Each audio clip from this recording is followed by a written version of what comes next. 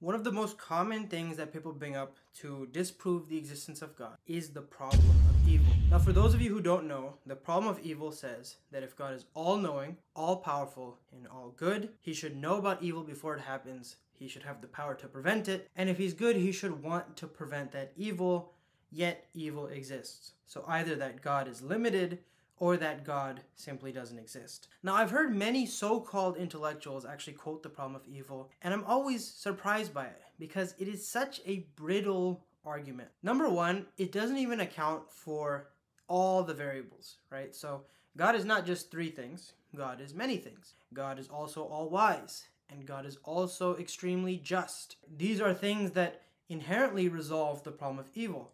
Whether we understand that wisdom or that justice or not, the fact that it is present would make the problem of evil null and void. But maybe you want a more detailed explanation, so let's just get into it. The first thing I would like to point out is that the problem of evil actually does have a very big problem. And that problem is that we are assuming that we know what a good God would want. But we can recognize that there is a difference in intellect here. God is all knowing, and we are limited in our knowledge. God is all wise, and we are limited in our wisdom. And because there is such a gap in intellect, we simply cannot make that assumption. It's like the person who plays chess for the first time, and then they go watch a grandmaster play chess, and they don't understand any of his moves. Why? Because they are simply not at the same level. Now, the second point is a point from design.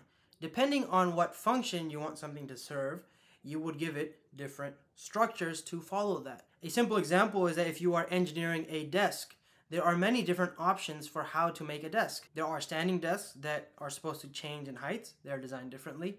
There are desks that are designed to have maximum storage space, so they have cabinets, drawers, and shelves. There are other desks that are designed to conceal wires, other desks that are designed to be economical and cheap, and each one of them is made differently. And so, what about the universe?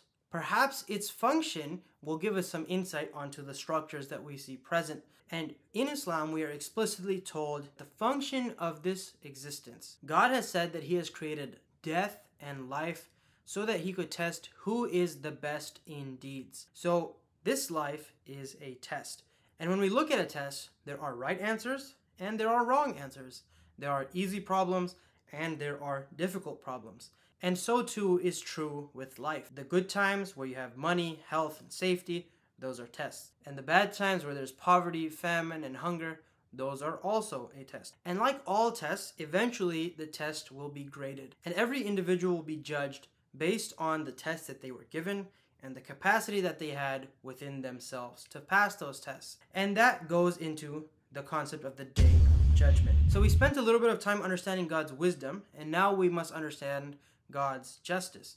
That God's justice is so absolute that it does not only extend to the human being, but also to all of creation as a whole. The Prophet Muhammad, peace be upon him, told us that on the day of judgment, there will be two rams that come in front of God and they will complain. One of them will say, Oh God, you made it in our nature to headbutt each other, and his horns were harder than mine. So I want justice. So God will recreate these rams and he will flip their horns and you'll have them headbutt again so that the subjective pain that they experienced was switched exactly and it will cancel out and they will return to the dust. Why? Because animals are not consequential beings, they are not beings of free will and morality.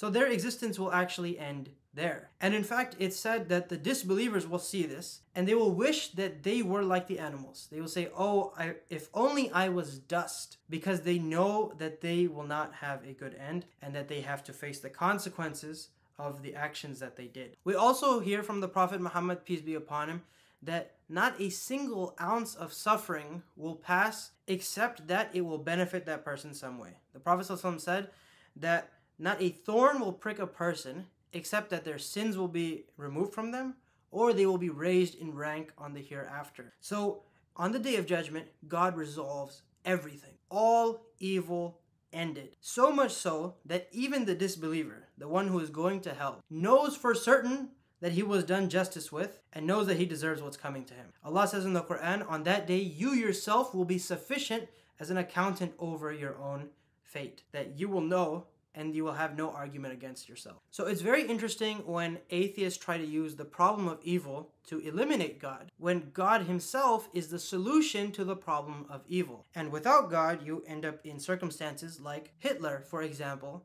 who killed 7 million people in the most gruesome and agonizing way possible, and yet he didn't suffer even an ounce of that. And there is not a single creation in this world who could give him back what he was dishing out, except God Almighty, who understands the subjective pain and experience of every single human being, and the one who has the power to dish it back out to those who deserve it. So I'll leave you guys with one last thing from the Prophet Muhammad, peace be upon him, where he said, how wondrous is the matter of the believer, that everything that happens to them is good. If they are in a good state, they are grateful, and if they are in a bad state, they are patient, and both of these things raise their rank in the hereafter. And so everything that they go through ultimately benefits them and becomes good for them. So good and evil in this construct are the result of the choices that we make, not the result of circumstances that are beyond our control. So I pray that Allah subhanahu wa ta'ala makes us amongst the people who do good choices that benefit us in this life and in the hereafter. Let me know if you have any reflections, questions, or comments in the comment section down below, and I will try to get back to them as soon as possible. Thank you guys for watching. Assalamu alaikum wa rahmatullahi wa barakatuh.